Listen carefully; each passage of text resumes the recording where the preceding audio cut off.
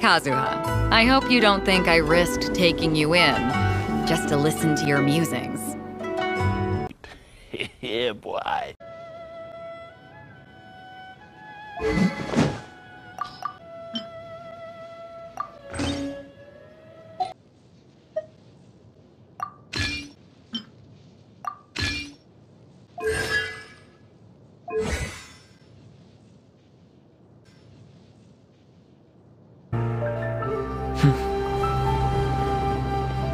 I say we lower the sails, Beidou.